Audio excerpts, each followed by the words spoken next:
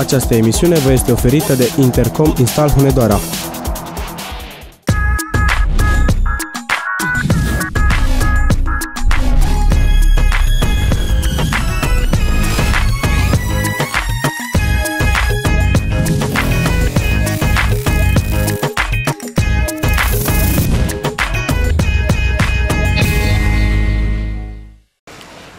Ziua și bine v-am regăsit! Astăzi, nota 10 o primește un elev din uh, municipiul Hunedoara. De ce?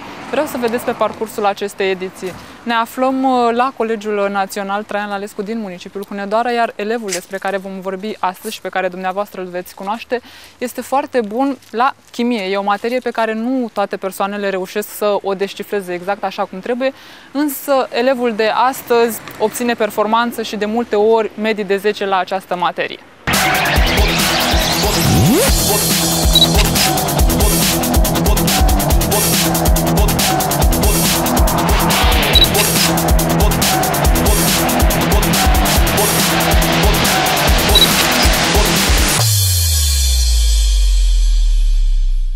Pot să spun că chimia este mai mult uh, o pasiune, nu e neapărat o materie. De exemplu, când uh, învăț la chimie, mi se pare că se fac legăturile mai ușor decât la altă materie, cum ar fi matematica sau româna și, nu știu, chimia este un mod de a vedea mai departe cum ar veni. Eu vreau să ajung la medicină și atunci uh, mă va ajuta mai mult chimia și mă ajută să, să văd cum va fi munca aceea de doctor sau de, voi vedea, sau de laborant.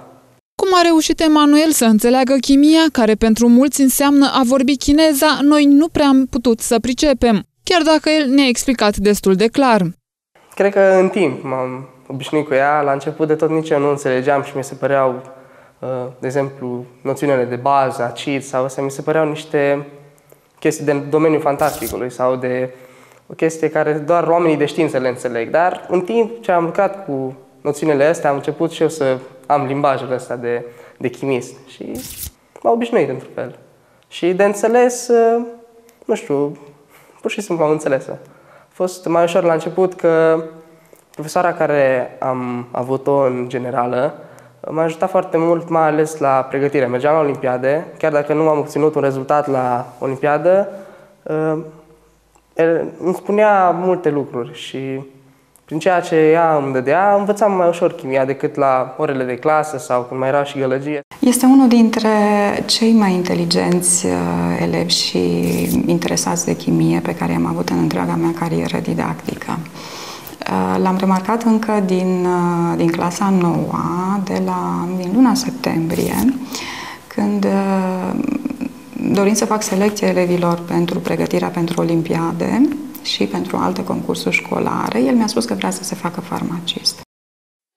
Emanuel este elev în clasa 11 însă, după cum ați văzut, știe încă de pe acum care este profesia pe care vrea să o urmeze. S-a gândit la acest lucru încă de la începutul liceului. Am început să mă gândesc la medicină mai de demult, mai din clasa 9, dar nu așa de mult cum mă gândesc acum mă gândeam că da, o să ajung un medic, dar nu contează ce, o să ajung acolo un doctor, un ceva și... Dar acum am început să-mi găsesc și, de fapt, să mă gândesc la profilul care să-l urmez, la specializarea și uh, voi vedea. Nu sunt, uh, nu pot să zic că de acum sigur uh, va ajunge medic și nu se va întâmpla ceva, dar dacă nu voi schimba părerea, sigur, medicină vreau să urmez. Înainte îmi doream și eu să lucrez de ca și medic, dar de când lucrez la spital, de vreo 5 ani, sincer să fiu, atât de greu lucrează medicii, încât am zis din partea mea să facă ce vrea, nu am să-i mai zic niciodată să... Dar acum văd că e pornit așa să meargă spre medicină. Îi place foarte mult anatomia, um, lucrurile astea așa care sunt mărunte, așa meticuloase și să le disece, a citit și o carte despre un medic, Ben Carson, și era mai micuț, mult mai micuț și tare mult l-a impresionat uh, viața acestui copil de mic care a ajuns un mare neurochirurg. Nu prea m-am gândit așa mult la bani, adică mi-am zis că dacă va fi să uh, muncesc și voi ajunge un doctor mare sau ceva de genul, voi, voi reuși să-mi găsesc un salariu cât de cât, dar uh, de grea pot să spun că multă lume zicea că este mult de învățat și Uh, trebuie să acorzi mult timp, mai ales la facultate, în primii ani, trebuie să studiezi foarte mult, dar uh, majoritatea meseriilor necesită multă pregătire. Dacă vrei să ajungi să faci ceva cum ar fi performanță, nu doar așa ca să zici că ai și tu un serviciu sau ceva de genul. Eu am tot povestit că dacă este să devină medic, eu să fiu asistentă la el. Dacă profesoara care îl pregătește pe Emanuel spune că este un băiat inteligent, ce ar fi să aflăm concret cu ce rezultate se întoarce el de la sesiunile de comunicări științifice de la care este nelipsit? Tot ceea ce își dorește să învețe, reușește să învețe cu foarte multă ușurință. Acum, el deocamdată și-a ales calea chimie experimentale. Uh, unde rezultatele uh, apar doar după foarte multă muncă. Contează și să fii inteligent, dar trebuie foarte multă muncă. El a venit cu niște performanțe încă din școala generală. Știu că a obținut uh, o mențiune în clasa 8 la Olimpiada de Chimie, Uh, și în clasa 9 a reușit uh, la Olimpiada de Chimie tot o mențiune. Din păcate, însă, în clasa 10 când uh, s-a făcut trecerea de la chimia anorganică la chimia organică, știut este faptul că băieților nu prea le place chimia organică, pentru el probabil șocul a fost prea mare și n-a reușit să se plaseze atât de bine. Însă, și în clasa 9 a reușit uh, o clasare cu locul întâi la sesiunea de comunicări științifice la faza județeană și apoi marea performanță. Deci, duele de clasa noua, deci a făcut echipă cu încă un coleg. Uh, au reușit să aducă premiul întâi la județul Hunedoara cu o lucrare experimentală la sesiunea națională de comunicări științifice Alături de mai mulți colegi, Emanuel Păcurar participă la campania Descoperă, un program educațional finanțat din fonduri europene care își propune să arate elevilor fața practică a școlii. În cadrul acestui proiect, tânărul nostru a crescut atât cristale în laboratorul de chimie, dar a și prelevat amprente ca un polițist criminalist adevărat. Le-a plăcut foarte mult să crească cristale. S-a ocupat, cred că, vreo patru luni de zile. Zilnic veneau și schimbau soluțiile și își uh, scoteau cristalele din soluție. Încă mai avem câteva dintre ele. În clasa 10 uh, am schimbat un pic uh, domeniul um, împreună cu, a schimbat și, și colega cu care a lucrat, a trecut la chimie criminalistică. Um, s-a ocupat în mod special de relevarea amprentelor latente. Probabil că despre proiectul ăsta o să vă vorbească el mai multe. Deci a făcut o deosebită plăcere să lucreze în domeniul ăsta. Cât de mult lucrează pentru a obține această performanță? Uh, foarte multe. Laboratorul de criminalistică mi-a plăcut mult deoarece era, știți, era ceva de domeniu științifico-fantasticul într-un fel, adică să găsești amprente, să identifici criminalii, să iei petele de sânge, dar uh, și creșterea cristalelor. Cristalele erau foarte frumoase și am muncit mult pentru ele, luni întregi la unul, la un cristal albastru, dar uh, Cred că laboratorul de criminalistică a fost preferatul meu. Cât de mult muncește tânărul nostru și câte ore petrece în laboratorul de chimie, aflăm tot de la doamna profesoară. Mai ales că, de multe ori, dascălul și elevul se întâlnesc în laborator în zilele de sâmbătă. De foarte multe ori lucrurile nu ies de prima dată și atunci trebuie încercat a doua oară, a treia oară, a patra oară. La unele lucruri renunțăm, pentru că nu ies așa cum scrie în cărți sau așa cum am găsit pe net. Sute de ore. Deci, sute de ore din partea lui, din partea lor, de fapt, și sute de ore din partea mea. Pentru că, mă rog, un profesor vede lucrurile un pic altfel decât le văd ei. Ei doresc să, încearcă, să încerce foarte multe lucruri. Uitați că am văzut și asta, deci asta nu putem face. Unele lucruri, într-adevăr, sau multe lucruri, într-adevăr, nu le putem face într-un laborator școlar, dar își doresc. Mai ales la școală munceam, veneam uh, pentru proiecte și pentru sesiunile de comunicări, se munceam la școală și acasă trebuia să studiez noțiunile teoretice și astea, dar cum la sesiunea de comunicări mai mult a fost partea de practică și partea de a arăta ceea ce ai învățat sau ceea ce știi, uh, trebuia să lucrăm mai mult în echipă cu colegii și ca să putem să ne dezvoltăm un mod de a vorbi, de a comunica, să facem publicul să înțeleagă ceea ce avem noi de ceea ce am realizat noi. Oare l-a schimbat pe Emanuel în vreun fel premiul întâi la sesiunea de comunicări științifice, la nivel național, diplomă obținută doi ani la rând? Cred că vede că um, se obțin rezultate numai cu foarte multă muncă, chiar dacă ești foarte inteligent. Uh, și cred că știe că este foarte inteligent. Uh, vede că pentru a fi în frunte, uh, trebuie să, să muncești foarte mult. Nu pot să zic că prima oară mă așteptam când am fost cu, pe clasa nouă la sesiunea de comunicări, nu visam să ajung la națională. Mă gândeam că voi lua acolo un premiu 2, premiu 3, speram eu. Dar când am luat locul 1, atunci am văzut că se poate. Și am zis că sigur o să muncesc mai mult anul viitor și, uh, și chiar și când am luat la națională, mi s-a părut tot așa că parcă e ceva fantastic, nu s-a mai întâmplat, știți? Și, dar uh, oricând când muncești, se poate. Prima dată nu ne-am așteptat. Noi ziceam, bine, Emma, dacă e și mențiune. A doua oară ne doream să ia premiul întâi. și am bucurat pentru el că a văzut Bucureștiul și lui îi place foarte mult să călătorească. De multe ori eu lăudam și ziceam la toți prietenii mei, am zis la toți de la biserică, ziceam să zic că o luat tema locul întâi și el mai taci tu din gură, nu mai zi atâta. El nu era și eu ziceam în continuu la toți, dar el nu. Asta ne-a zis nouă și la prietenii mai apropiați, nu s-au lăudat atât cum am făcut eu. Dar l-am lăudat eu. Așa eram și eu. Eu le ziceam la uh, prieteni comuni, le ziceam, băi, eu la frate mi-au loc întâi la chimie, știind că ne-au zis soră ta. Fie cartea cât de frumoasă, dacă profesorul nu e frumos, nu se prinde nimic. Cam asta spune elevii care nu se înțeleg prea bine cu materiile de la Realm. Ce trebuie să facă un profesor pentru a-și atrage elevii spre o materie grea precum chimia? Cred că modul în care se predă un profesor este foarte important, mai ales că, deși și modul în care înveți tu, sau cât de serios ești la o anumită materie sau într-un anumit domeniu, dar uh, profesorul este cel care trebuie să-ți facă să-ți placă materia, să, să te atragă cum ar veni la, la ea, să o înțelegi.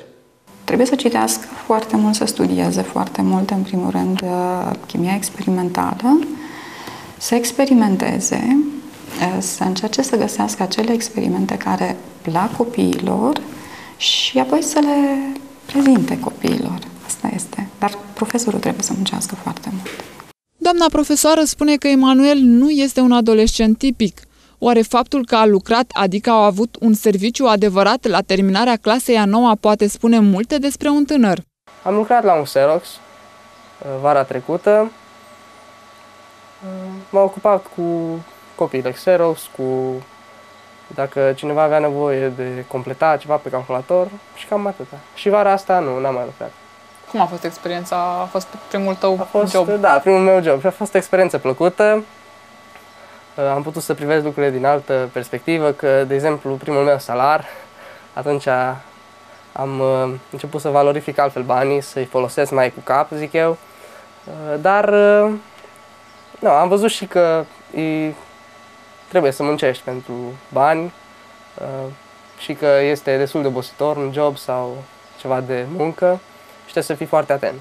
În vacanța dintre clasa 9 și a 10 chiar a trebuit să muncească pentru ca să aducă ceva în plus familiei și ar fi dorit și vara asta să muncească, însă se pare că n-a mai găsit de lucru.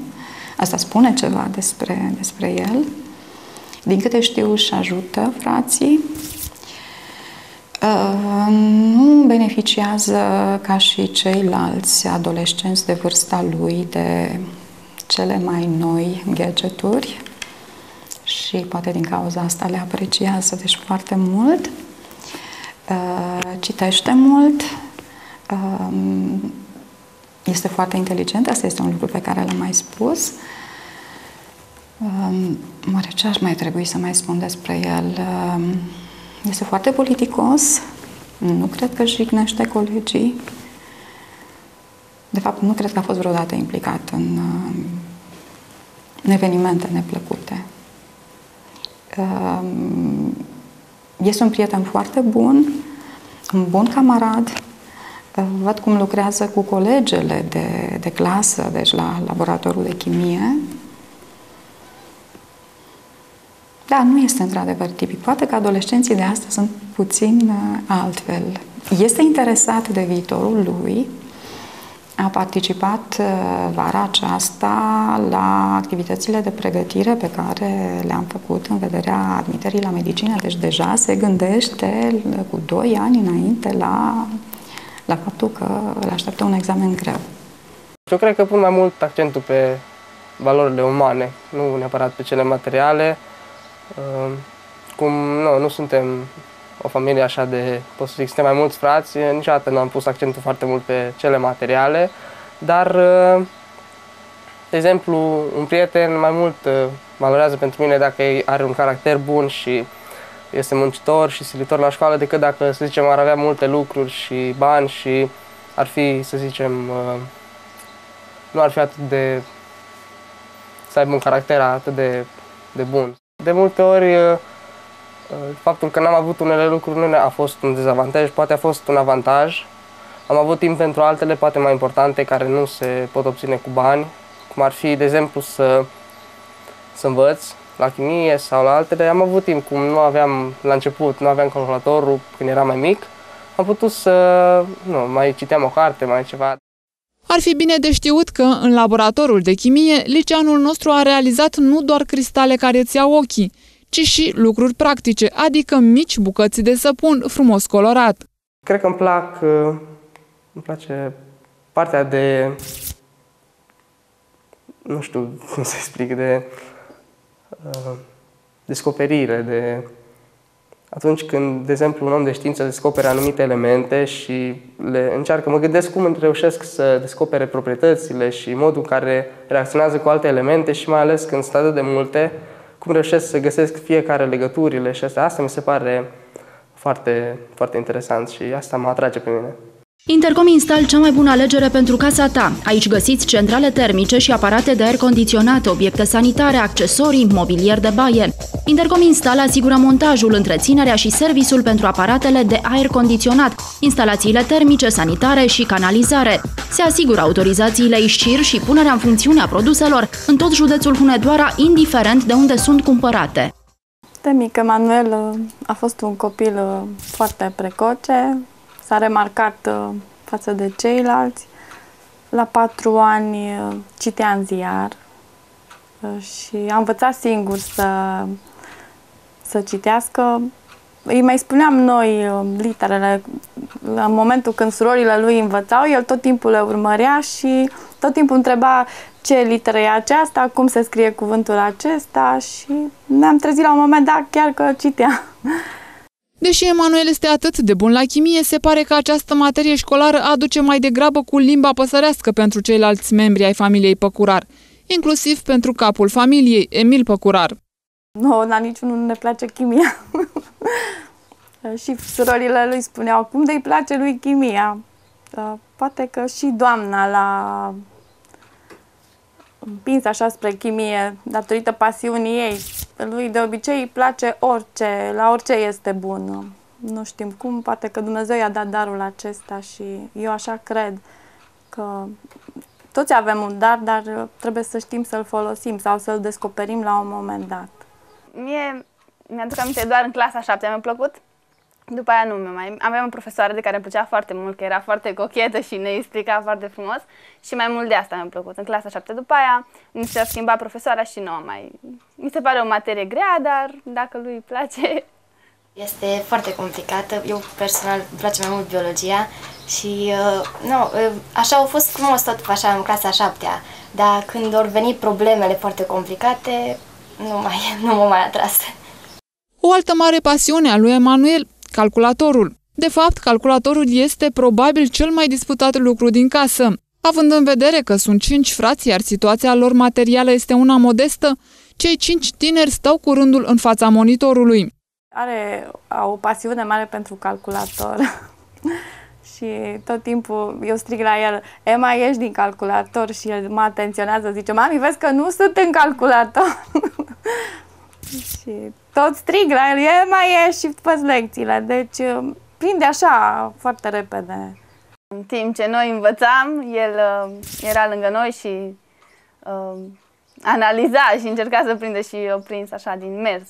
În timp ce noi învățam, învăța și el odată cu noi. El era lângă masă și nu aveam un scaun, dar se ținea așa de masă și de Nu ajungea, ajungea doar cu ochii. Uh, doar cu ochii și trebuia să despărțim în silabe mașină și noi nu știam și uh, nu, nu ne venea în minte atunci și el a început să, să strige cu gura mare și uh, să strige cu să desparte silabe mașină și mami când îl auzea pe el, că nu trebuia să zicem noi, îi dădea așa peste mână ca să nu mai zică el. Cum suntem mai mulți, uh, nu apucăm Adică tot timpul cine vrea intră și intră la calculator să se joace sau să-și facă treburile, uh, dacă are de luat un referat sau ceva de genul, dar uh, nu, cum am zis, ne mai certăm câteodată, dar în ultima vreme nu prea, uh, nu prea ne mai certat. Mai nou am apucat să caut cărți, cărți pe internet, de citit, chiar cu domnul profesor de fizică mi-a dat câteva site-uri astăzi când am fost la școală, uh, mă joc, caut referate sau dacă trebuie să iau ceva informații. Estera și Rebecca sunt cele două surori mai mari ale lui Emanuel, primii doi copii ai familiei Păcurar. În timp ce fata cea mare a trecut în anul al doilea de facultate, Rebecca este elevă în clasa a 12 la același liceu ca și fratele său.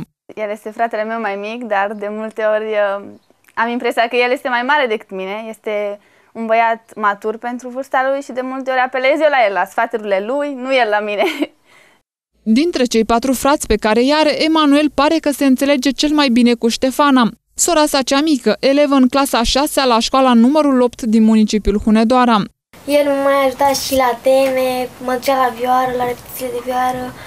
Mă, tot timpul era lângă mine. Dacă avea mai mulți frați înseamnă program la calculator, să nu uităm că există totuși și beneficii. Nu ești prea mult timp singur. Suntem cu toți aici, ne... Uh, nu suntem, de exemplu, uh, nu-i prea multă liniște, uh, dar e frumos. Și pentru că cei mici întotdeauna îi copiază pe cei mari, ar fi bine să știți că Ștefan a încercat în nenumărate rânduri să copieze pasiunea lui Emanuel pentru chimie bineînțeles la un alt nivel. Și-au făcut aici în față la bloc, din cutii, cartoane și tot felul de brizbrizuri și-au făcut un laborator al lor, adică un loc unde fac ele tot felul de experimente, tot felul de chestii și uh, a trebuit să mă duc la ele, să, să-mi arate. Și m-am gândit, oh, au pus două cutii, două chestii și atâta. Când colo m-au băgat printr-o ușă pe sub gard, mi-au deschis o poartă cu frânghii, o trebuit să intru acolo și când am văzut ce avea acolo, dă repede să fugi. Adică, nu, avea foarte, ziceau ele, parfumuri din tot felul de frunze și apă și apă de ploaie și... Încă și vorbeam cu el, Lema, cum o vei să fac și eu un cristal? Îmi zicea și ea și fratele, eu nu îmi zicea să uh, le aduc un cristal de acolo, dar am spus că nu pot să-l aduc aici, că nu, e periculos totuși și chimie și... Da, o să le învăț pe ele să facă cristal. Chimia îi leagă și nu prea pe cei doi frați, însă bancurile și muzica, sigur da. În timp ce Emanuel cântă în corul bisericii la flaut, Ștefana cochetează cu vioara. Oare pe când un duet?